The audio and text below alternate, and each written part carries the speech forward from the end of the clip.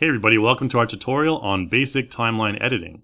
In this tutorial I'm going to show you the basics of the timeline, how it's used to uh, do animation and modifications to your scene, and then we'll start a project and we'll get into uh, some more advanced stuff later. So this tutorial will actually continue on to a more advanced uh, timeline tutorial. Uh, so first of all, if we want to be uh, using our timeline, we have to have objects in our scene. So I'm going to go to the uh, scene tab here, and I'm going to go down to my scene folder, I'm just going to uh, drag down here and I'm going to add in this uh, street scene right here. So I'll just double click that and that will add into my scene. And you can see I have a whole ton of objects in my scene and these objects can be edited in the timeline. Now if I want to bring up my timeline, the first thing I need to do is go down here. I can also press the F3 hotkey, which is also a lot shorter. Let's go ahead and uh, add that in. And you can see my timeline pops up right here. Now in the timeline, if I want to select objects in my scene, I can select them from the track list right here. If I go to uh, props, I can select, you know, the road, the sky. Let's select this traffic light here. You can see it's uh, uh, surrounded by a red selection box when I select that. And I can select any of the items here, and those tracks will appear in my timeline. So there's the traffic light and the store C. Now we also have the project track, which includes our camera, sound effects, and music. And the traffic lights and the store sign, or the store, these are actual props. These have different uh, different tracks available: motion, opacity, link, uh, transform. We'll talk about all of these later. If I want to close down these tracks, I can simply click the X button beside them, and they can uh, I can take those out of my scene. In addition to that, if I want to go here, I can select object-related tracks. So if I select that, you can see the object I currently have selected is store C, and that will appear. Let's select my traffic light, and you can see that my traffic light will now appear in my timeline and in any object I select, that object will be shown in my timeline. Uh, if I turn object related track off and I select something, it will not be shown up in the timeline. So in addition to moving the timeline around like this, I can uh, simply double click the timeline and that will be docked down here at the bottom. Uh, I can see all of my tracks. If I add a couple more tracks in here, let's go to prop, maybe uh, road B. Um, let's click a, a, couple more things. We can just uh, scroll up and scroll down here and maybe if I put on object related track, I can select, uh, you know, different objects in my timeline. If I turn that off and I just uh, open up the track list, let's go ahead and add in a couple more things. And we can just scroll down here a little bit further. Maybe add a sky, skyline. We'll add all of these things into my timeline. You can see those are appearing down here in my timeline. And I can open up their uh, sub tracks like this, uh, the transform tracks.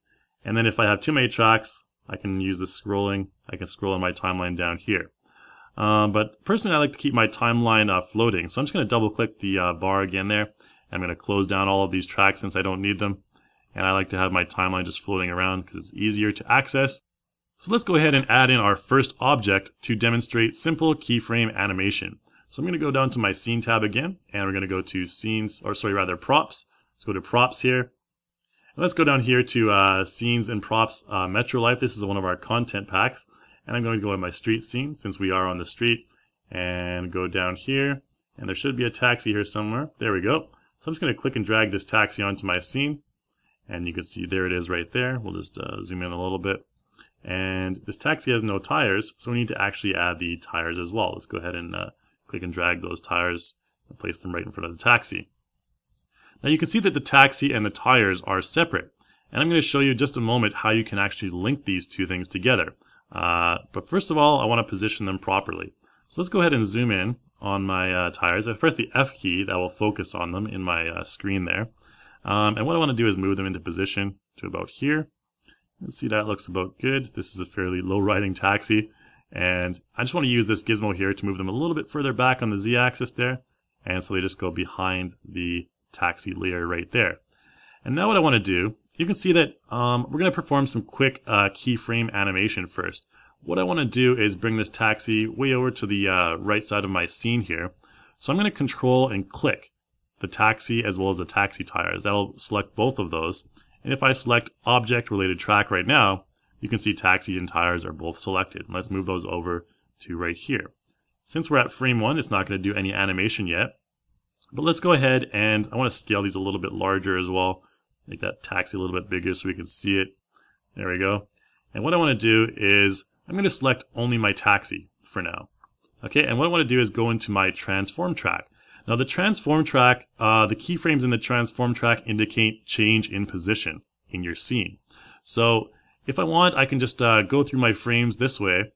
Um, I can zoom in and out of my timeline by clicking and dragging this uh, this bar, this uh, time scrub up here. You can see how that's zooming in and out. That's normally how I like to zoom in and out. You can also use the zoom out keys, uh, zoom in keys, and you can use the actual size, and that will go back to where uh, each little section here is uh, one frame.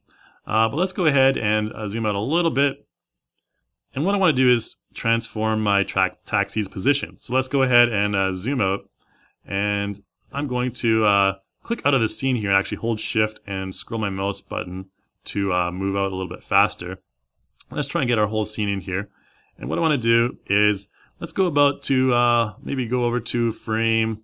Let's zoom out a little bit more. We'll maybe go to frame uh, 175 or so. Let's select my taxi and let's move that taxi all the way across the scene. Um, you can see behind the taxi there is a nice green line. That indicates the path of my taxi that my taxi is going. And the tires unfortunately are being left behind. So let's go back to uh, frame 1 here and press play. And you can see my taxi just kind of zooming down the street at a good uh, leisurely pace. But the tires are being left behind. So how can we fix that? Let's select the tires first. And what I want to do, since we have object related track selected right now, the taxi tires are in here, I'm going to open up this link track. And if you guess correctly, you could probably guess that we're going to link these tires to the actual taxi body. And so what I want to do for that is I want to go up to this tool right here and select link. And after that, I want to just select my taxi's body right there. And you can see in the link track, this keyframe appears and this line indicating how long the link lasts will be after that. So let's go ahead and see now.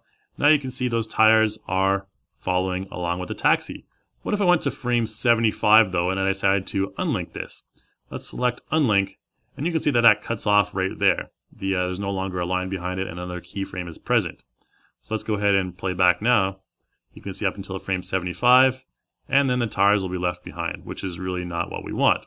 So let's press Control Z and I'm going to undo that. So now we just have our taxi going from one point to the next, and that's how um, you do simple transform animation. We'll open up our transform track one more time. Let's close down the link track. And now what if I wanted that taxi to go a little bit faster? Well, we need to select our taxi first. And there we go. Open the transform track. And there's our keyframe. So you can see that keyframe is at 175. What if I wanted the taxi to get to that position faster? Now the easiest way to do that is simply to click this uh, keyframe right here and click and drag it to maybe 100. And let's see how fast the taxi will go now. You can see the taxi is going quite a bit faster because I moved the keyframe ahead and that essentially makes it so that the taxi is going from this one point to the other point in less frames, which makes it faster. So let's go maybe to 50 and see how fast it goes. It's going way too fast for a city. Slow down, guy. And so we'll go down, uh, we'll bring this up to maybe like 225 and see how slow he goes now. So that's some basic, basic keyframe animation. That's the easiest way to get one object from one point to another. Just move around this little keyframe and you should be good to go. So I think we'll leave it at 175. That seemed like a nice, decent city speed. And that's your basic keyframe animation. That's how easy it is to get an object from one place to another. In addition to that, if I go to like maybe frame 100 right here, and I decide to scale up my taxi, you can see that everything that's linked to it will also scale up. You, will, you can see that will also add a keyframe in the transform track. The transform track also indicates scale values as well. So let's take a look at what will happen here. Because these two keyframes, right here, the first one and the last one, have the same scale values. You can see if I go there, that's the, uh, the same size uh, for this um, taxi. But here the taxi is huge. So let's see what will happen. You can see the taxi gradually getting bigger, transforming, and then gradually getting smaller. That's just to show you another option for the transform track. It also indicates change in size and rotation as well. So we'll just uh, go ahead and delete that keyframe right there, and the taxi will go back to its original size. Now an easy way to get from one keyframe to another, if you select your keyframe right here, you can also go to next keyframe, or you can use your tab key and go back to the previous keyframe, shift tab, and you can also add keyframes as well, which we'll talk more about later. So now that I've showed you simple keyframe animation with props, let's move on to characters, which are a little bit more difficult. Let's go to the actor tab. Let's bring a character in. Let's go ahead and select uh, maybe this uh, Sandra character. We're going to bring her right in front of this uh, store right over here. And you can see she's far off in the distance. So let's press the F hotkey to focus on her. And there we have Sandra just standing there. Now I'm going to show you the difference first between 2D and 3D animations. So we have Sandra in position there at frame 1. And if I go to the animation tab in my motion folder, I have the option of 2D and 3D. Let's apply a 2D animation first. And we'll select this move folder. And I'm going to move down. We're going to find a female walk, uh, this female officer walk right here at 0 degrees facing forward.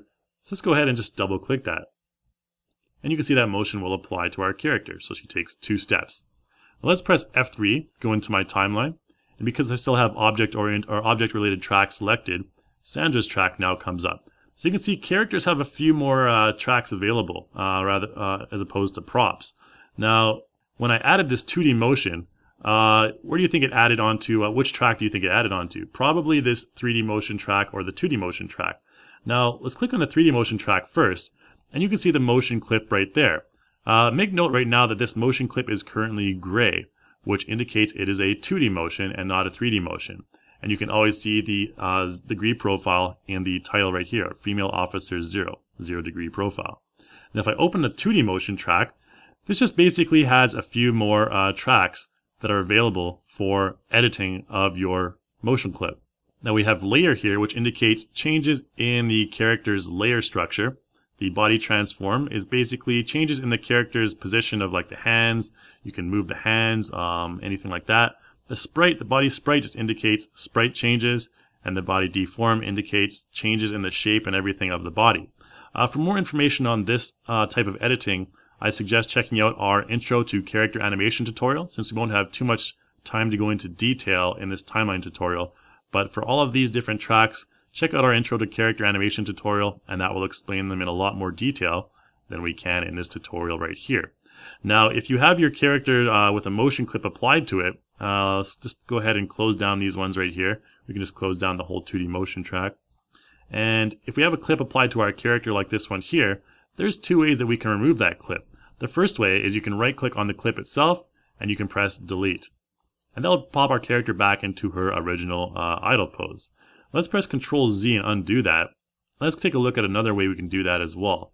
If I right click on my character and I select remove animation, my character will actually maintain that position uh, that she had at the beginning of her walking animation uh, right here.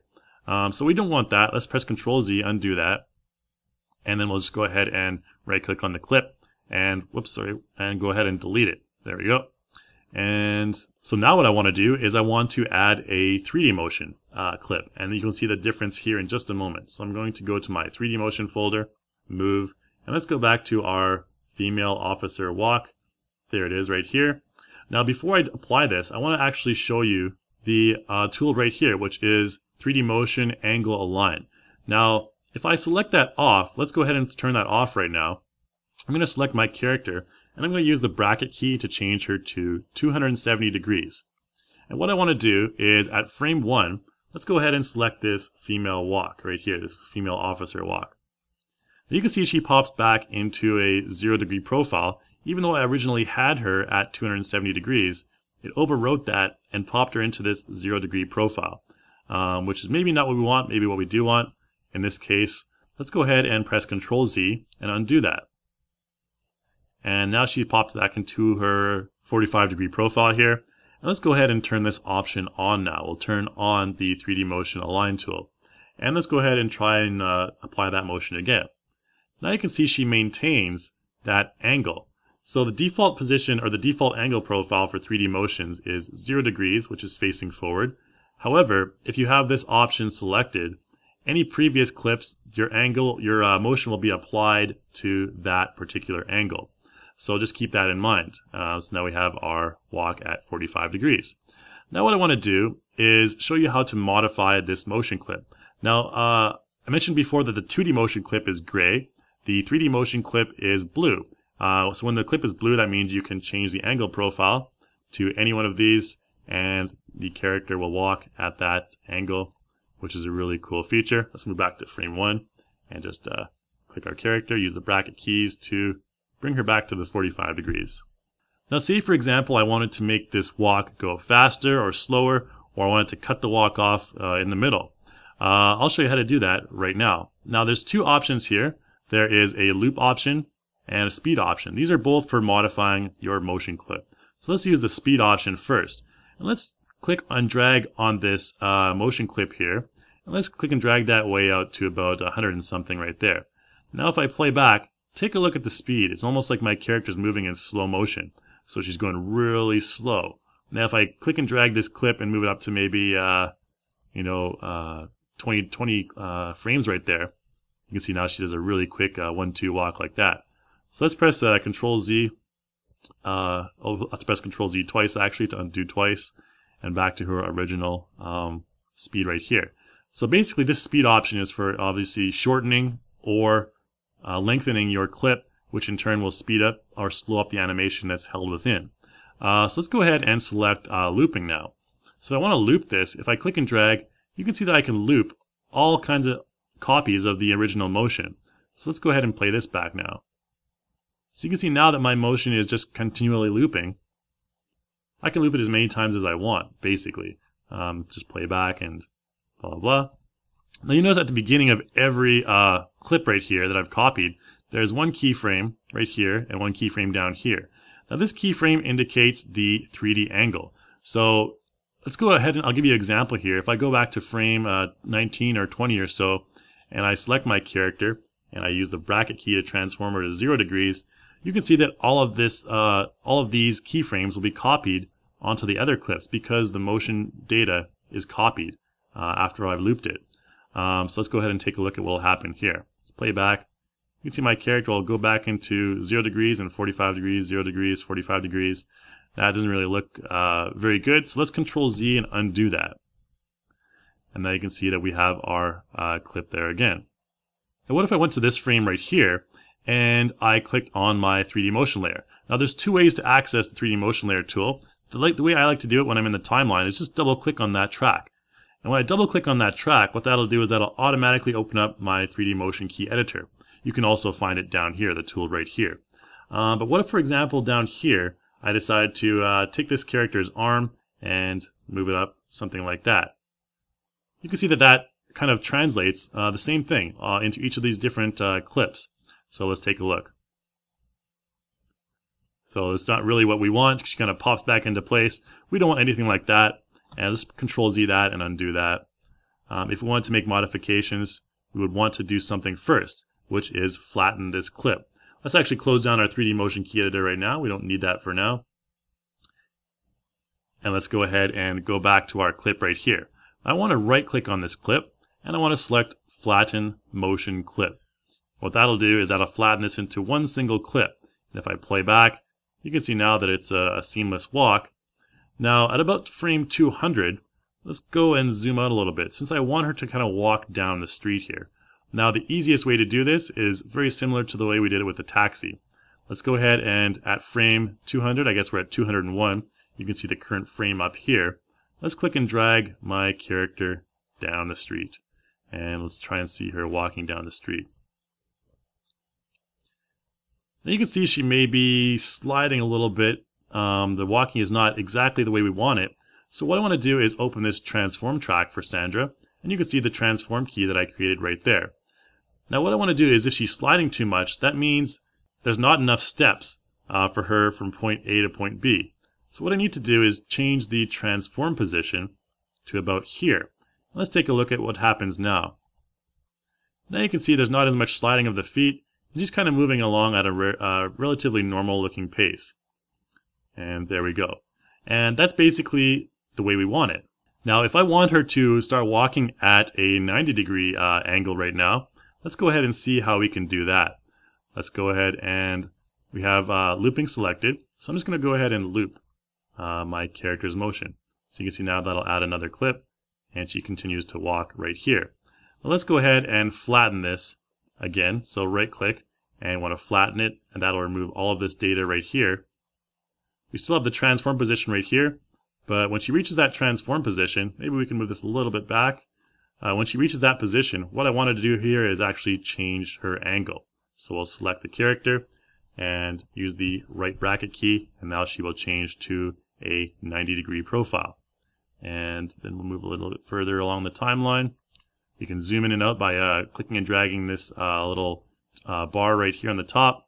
Uh, in addition to that, if you want, you can uh, you know uh, zoom in this way, zoom out, and you can actually do the actual size, and that'll have one frame for each little section here. but let's go ahead and just maybe zoom out a little bit. And I like to do it on the, on the top of the timeline here, the slider bar. And maybe from here, we want her to kind of walk a few steps in this direction, maybe at 350 she can walk to right over here. And let's go ahead and take a look and see what that looks like.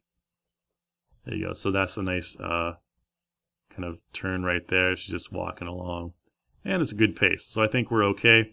Maybe at this point, this transform, let's try and make her uh, a little bit larger as well. We can maybe just uh, bring her a little bit up on the z-axis right here. And we can do the same thing on uh, this transform key right here and bring her a little bit up.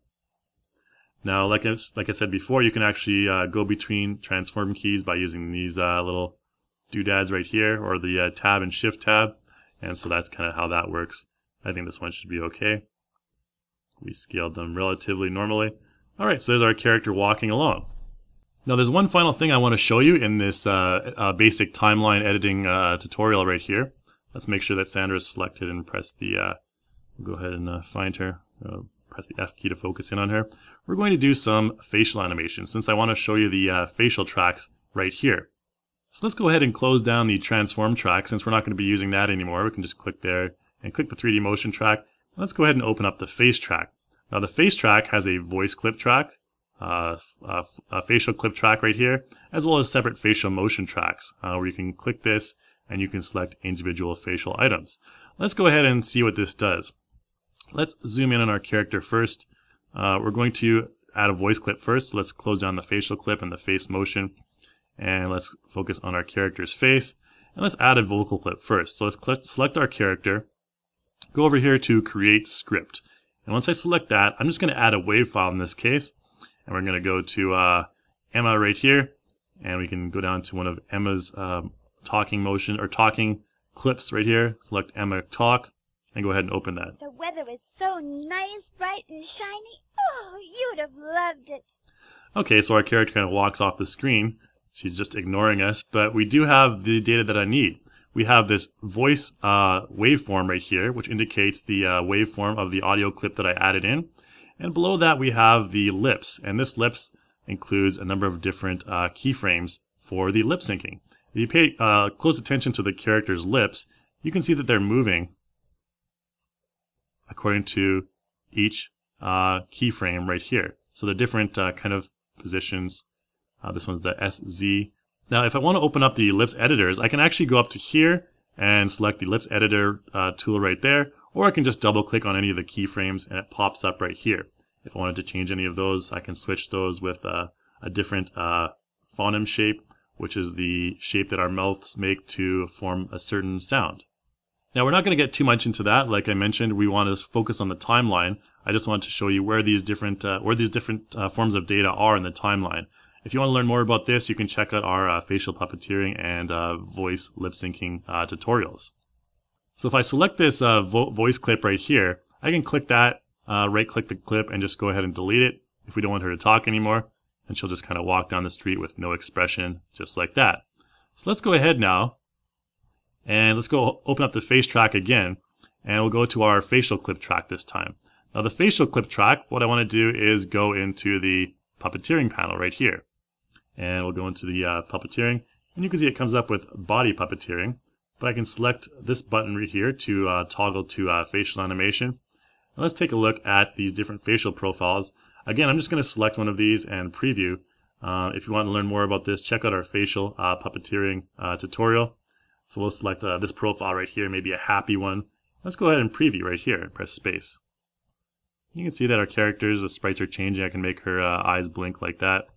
That's, uh, you know, all kinds of different uh, facial expressions. So maybe that's a good one. It looks like she's kind of just smiling, walking down the street. And let's go ahead and press record.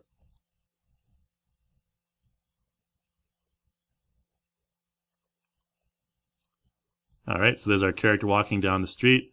And you can see all of a sudden, all of these keyframes appear. We have a data clip right here. All of these keyframes appear in the head, face, and eye track. This is where the facial clip data is stored. So if I wanted to, you know, change any of these, I can delete any of these keyframes with the face, the head, or the eye. We'll have more detailed uh, tutorials on facial animation, but I just wanted to show you this is where your uh, facial puppet data will be stored. Let's go ahead and press Control Z. We'll undo that right there, and then we'll go ahead and uh, just play back, and you can see all of that is gone right there. Now with the facial motion track, you can see we have different tracks for facial transform and facial sprite. Let's go ahead and select uh, facial transform and facial sprite tracks, and then we'll select the right and left eyes. So now you can see we have right eye T and right eye S. Right eye T stands for right eye transform, right eye S stands for right eye sprite. So let's go ahead and zoom in on my character on her face here, and let's see how do we uh, modify, how do we get some keyframes in these tracks right here. So the facial transform track, let's go up to about frame 15 here, or frame uh, 20 rather. And you can see my character right there. If we have my character selected, let's close down the puppet editor right now and let's go ahead into the sprite editor.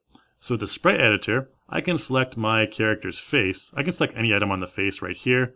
And you can see I have the right eye selected. If I decide to change the sprite on my right eye, I select exert close down here. And you can see a keyframe appears in the face sprite track, which is the overall sprite track uh, for all of the facial items, as well as the right eye sprite track. And you can see she's kind of winking right there. Now, let's say, for example, at this point, um, right here, you can see she's winking, and then I can go right here and bring it back to normal. And so she kind of has a long wink right there, and then back to normal. Now, maybe at this point right here, I want to also change the size of her left eye. Let's make it a little bit smaller, like it's almost squinting. Now, you can do that with a sprite editor. You can select a different sprite right here. Let's go ahead and close this down. And what I want to do is select my eye right here. And, or sorry, select the character right here. And then I want to go into this uh, 2D motion key editor right here. And from there on, I go to the face. And you can see right now it currently has a selection box around my lips. What if I selected my eye right here, and we kind of just shrunk that eye down a little bit. Uh, whoops, we don't have the eye select, that's the ear, sorry. You can see it's uh, the uh, yellow selected ear right there. Let's select the eye right there, and let's kind of just squint that down, maybe make it a little bit smaller. And you can see that now we have a uh, transform key that appears in the left eye transform track. And we can go over to here. And if I want, I can actually just click this button here to refresh that to the original size. And you can see that now that uh, transform key will be there as well. So that's the difference between the sprite and transform keys. So now we have our quick little wink like that. There you go. From this point, you can just see her eyes getting a little bit smaller and then bigger. And maybe if, if we wanted that, because uh, you can see gradually her eyes getting smaller from here to here, if we didn't want that, that to get smaller until that uh, point right here, we can click on this keyframe, we can copy this keyframe, and I can just click over here and paste this keyframe right here. So now you can see that the eye automatically gets a little bit bigger, but from here to here, that's when it starts getting smaller. So you can see that box get a little bit smaller and then it stays that way from here to here, it's at full size again. Now if I want it to stay smaller for the longer period of time, I can right click that one right here, copy, and then go over to here and paste. Now you can see that this eye will stay smaller for the longer time and then gradually get bigger right there. So let's play that back. And that's a nice, nicer looking wink right there. And that's how you can you can kind of combine sprite editing and uh, transform editing, which, like I mentioned before, is scale, size, and rotation, and all that stuff together. So that's your basic introduction to uh, timeline editing. Uh, in our next tutorial, we're going to do more advanced stuff. I'm going to show you how to do a few more things like uh, time warp, uh, transition curves, uh, and all kinds of other fun stuff as well uh, to create a final project. So thanks for watching, and stick around for the advanced tutorial.